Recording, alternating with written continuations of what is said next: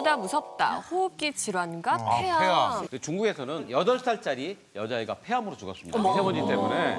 미세먼지가 얼마큼 무섭냐면 50 마이크로그램이 그람이 이제 마이크로 굉장히 작은 거거든요. 그걸 갖다가 먹는 거는 담배 한 가치를 한시간반 동안 갇힌 공간에서 계속 마시는 거랑 똑같은 거예요.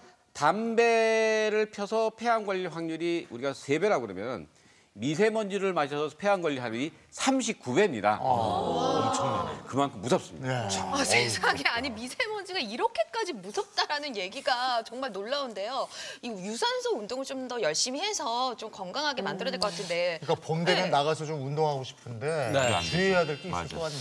그렇죠. 우리가 일상적으로 평상시에 호흡해서 들이마시는 공기 양에 비해서 우리가 많이 움직인다거나 운동을 할 경우에는 최대한 20배 정도까지도 공기를 많이 흡입하게 돼요. 그래서 미세먼지 어떤 경보가 생기지 않습니까? 나쁨 단계까지 올라가면 당연히 우리가 외, 외, 외출을 좀 금지해야 되는데 많은 분들이 미세먼지에 대해서 그렇게 감각이 별로 없으시잖아요. 마스크도 안 쓰시고요. 뭐 일상적으로 생활을 그대로 하시는데요. 굉장히 위험합니다, 사실은. 예. 자, 두 번째 보겠습니다. 두 번째. 뇌가 병든다. 치매. 어, 뇌졸중. 등 혈관 질환도 위험하군요. 그 영국의 랭카스타 대학교에서 뭘 연구를 했냐면은 치매에 죽은 사람 37명을 갖다가 뇌를 갖다가 이제 부검을 한 거예요. 검사를 딱 해봤더니 이 미세먼지의 금속 입자가 치매 환자의 뇌 조직 속에서까지 발견이 됐는데요. 사망한 치매 환자의 뇌 조직입니다.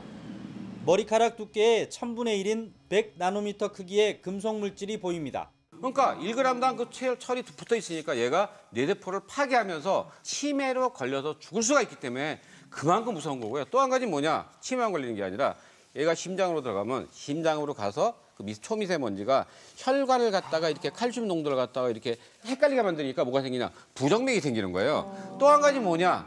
이 자식이 뇌혈관으로 가가지고서요 혈액 순환을 막기 때문에 뇌경색까지 올 수가 있기 때문에 모든 질병이 다 생길 수 있을 만큼 무서운 겁니다. 아니 여러 의사 선생님들이 늘 말씀하시잖아요. 봄 되면 혈관 건강도 걱정해야 된다라고 늘 생각하셔서 저희는 그것만 걱정을 했잖아요. 그런데 저는 진짜 미세먼지 있고 없고는요. 문 열어서 남산 타워가 보이면 오늘 없다. 그리고 문 열어놓고 이렇게 열어서 남산 타워가 안 보이면 문 닫아. 이것밖에 안 했거든요. 그게 제일 잘못된 겁니다. 그러니까 이게 이렇게 그게 잘못하고 왜 그러냐?